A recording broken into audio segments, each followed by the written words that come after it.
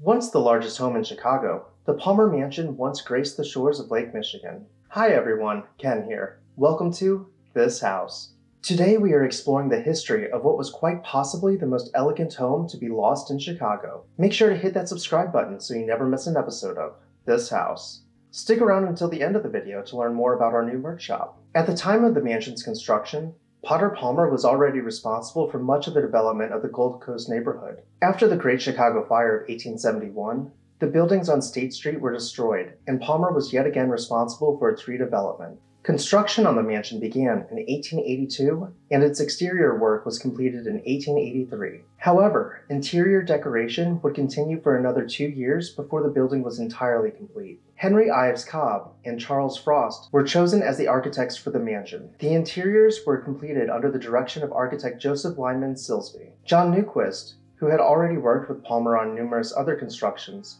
was chosen as the contractor and the stair constructor. Although it was originally budgeted at $90,000, after five years of construction, the mansion would cost the Palmers more than a million dollars, or the modern day equivalent of over $29 million.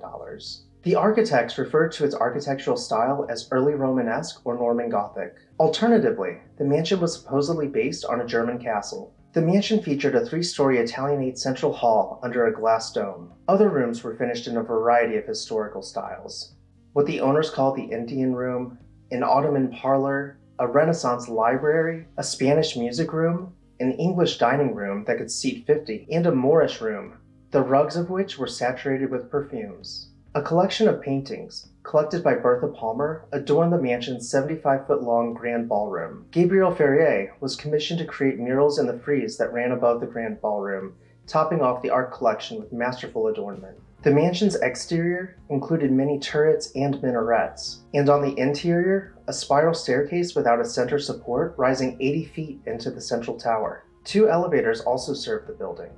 The Palmers constructed their mansion's outside doors specifically without locks and knobs, so that the only way to get in was to be admitted from the inside by servants, never lifting a finger for anything, including simply opening a door.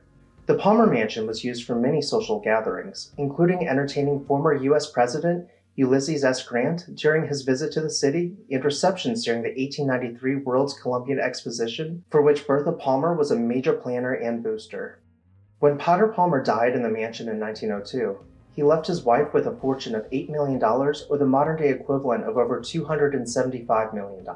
After his death, Bertha Palmer continued to reside in the house as well as in homes she maintained in London and Paris until she died at her winter residence in Osprey, Florida. She invested heavily in real estate in Florida, where she developed farms, dairies, and cattle ranches that she administered herself. With these great investments in land, she parlayed the fortune into almost double what she had been left and in 1918 bequeathed an estate of $15 million or the modern day equivalent of nearly $500 million to her sons. Her sons sold the Chicago mansion in July 1928 for $3 million or the modern day equivalent of nearly $50 million to the industrialist Vincent Hugo Bendix, who had invented an automobile starter. Potter Palmer Jr. and his wife vacated the property in April of 1930. Upon moving into the mansion, Bendix renamed the property the Bendix Galleries after adding paintings by Rembrandt and Howard Chandler Christy to Bertha Palmer's former art collection. While residing within the mansion, he modernized the elevator and installed a barber's chair for his own use. Vincent Bendix contemplated razing the mansion to construct a 50 story hotel on the site at an estimated cost of $25 million.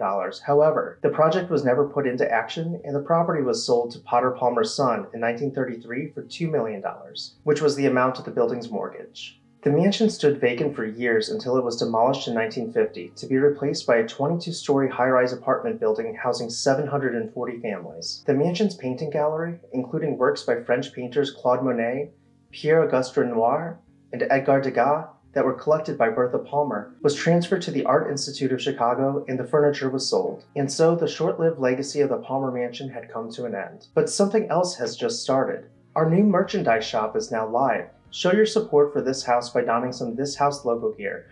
From coffee cups to hoodies, there's sure to be something you'll like. All profits from the merch shop will go straight into video production so we can keep bringing you entertaining and educational videos centered on architecture. As always, I really hope that you enjoyed this video. Please make sure to like, comment, share, and subscribe. I'll see you next time on This House.